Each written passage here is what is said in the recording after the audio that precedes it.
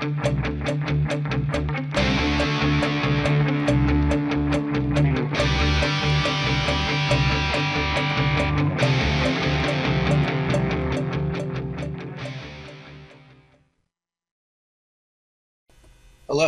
my name is David Williams from Education Services, and this Learning Byte is about ASPath regular expressions. We're going to talk about how do regular expressions apply to BGP routes, what a regular expression is, and then the components of regular expressions, which will include terms and operators. We'll go through some examples and then we'll show you how to create a regular expression and apply it using a routing policy. So BGP relies on finding prefixes based on ASPath information quite often. And so the idea behind regular expressions is to enforce administrative policy and to be able to use this pattern matching engine to find groups of routes based on their ASPath.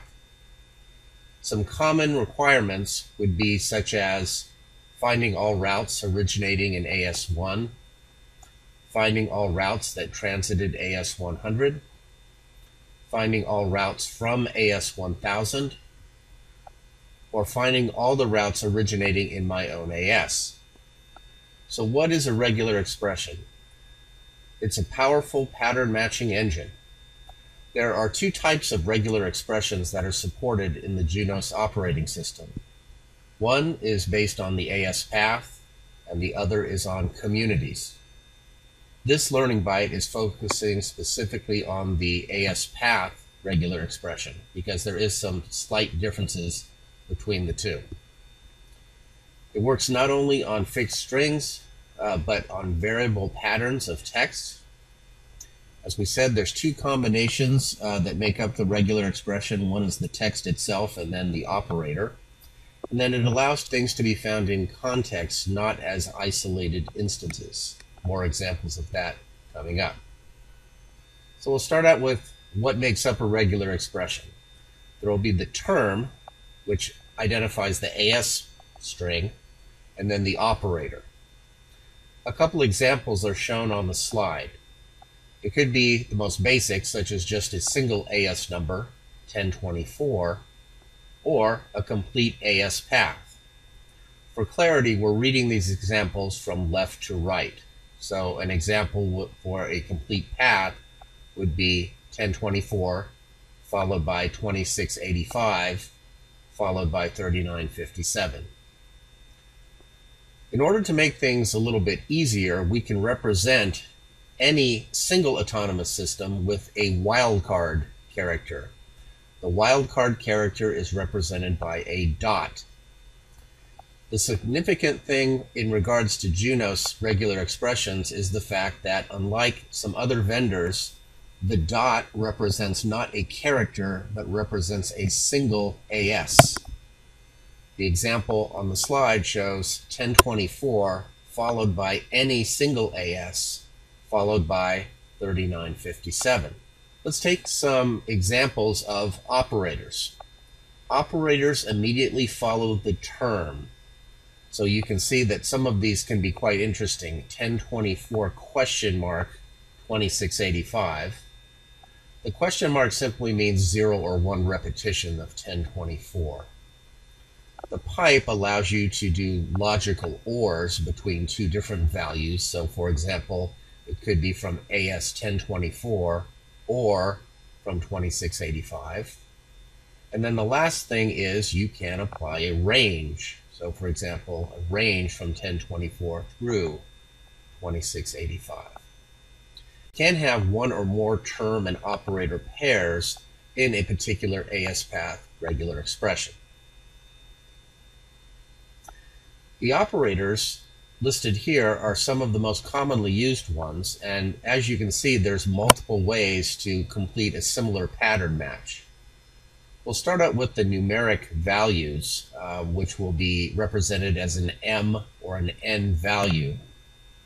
The first one, M comma N, will match at least M being a numeric, uh, and at most N repetitions of a term. M itself will be exactly that number of repetitions of the term. M comma will be M or more repetitions of the term. Now we have some other representations that we can go through that have some similar match uh, capabilities. The star matches zero or more repetitions of the term, or you can equate that as zero comma in parens. The plus sign matches one or more repetitions of the term. The question mark matches zero or one repetitions of the term.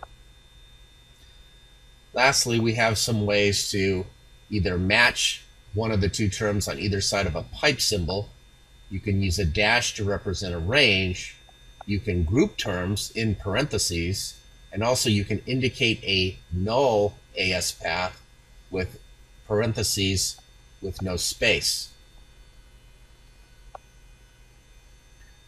So we'll start out with some really basic examples to get the ball rolling, and then we'll look at some a little bit more complex ones.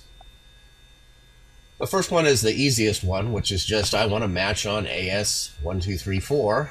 Okay, that's pretty straightforward. If I want to match on zero or more instances of AS1234, I could represent that as 1234 star. Zero or one would be 1234 question mark. Or you can use the other uh, operands, one to four instances of AS1234 one to three instances of AS12 followed by one instance of AS34, you can see how you can bundle these all together to make some complex match patterns. Lastly, the, the last one, a range of AS numbers to match. This regular expression would match AS 123, 124, and 125. Some other examples. The second AS must be 56 or 78. And again, for clarity, we're reading these from left to right. The dot represents any AS followed by 56 or 78. The second one is the second AS might be 56 or 78. Again, the dot represents any single AS value, followed by 56 or 78 or not. Remember the question mark is 0 or 1 repetition. All paths from neighbor AS 1234 introduces the concept of the wildcard AS followed by a star, which is will match on any condition. Any linked path that contains the list 4, 5, 6 in it anywhere can be represented as dot star 456 dot star. You can use this dot star notation to find simple AS pattern matches. If I want to find, for example, any route that has AS10 in the path, dot star 10 dot star will do the job. How do I verify when I configure all these regular expressions that you know it's actually matching routes in the routing table? Fortunately, there's a command called show route AS path regular expression that allows you to plug in your regular expression and it will list the routes that are considered a match. Lastly, sometimes you want to advertise routes that are originating from your own AS, but you don't want to pass any transit routes from neighboring ASs. A simple way to do that is to create a regular expression called the null AS. The null AS is just an empty paren in quotations. When we create these regular expressions, we then make use of them by applying them with a routing policy. We're going to be showing you a couple examples of that coming up. So here we go. So step one, we need to create the actual AS path regular expression under policy options. You give it a name and you type in the regular expression. The name itself can be up to 255 characters long. If there's any spaces, then of course you would enclose it in quotations. And then once you have created the AS path by name, you can then apply it by name as a match condition in a routing policy.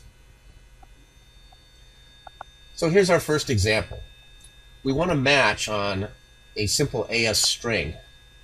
We're calling this the all the digits route one two three four five six seven eight nine. The first uh, thing that we see on the slide is the actual creation of the regular expression under policy options. We give it a name. In this case, we call it digits route. Below is the policy that references it, and we just made it really simple. We have a term called digits that says if it's from the AS path digits route, except If not, then reject. And we're applying that as an import policy under BGP. Our second example is pretty similar, where you have now a little bit different though. We have the wildcard match, including a range of 123 through 125. All right, remember, what does that mean? It means that 123, 124, or 125 are anywhere in the AS path.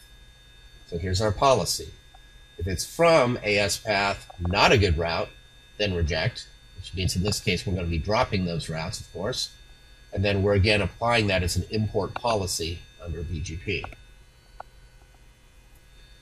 Lastly, we have the null AS path. And as you can see, to easily find this, show route protocol BGP terse, and we do a kind of a look-see here.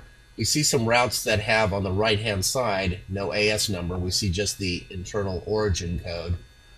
And all you would do in this case to reference these routes is just to do what we saw on the previous slides, create a null AS path regular expression, and then reference that inside of a routing policy.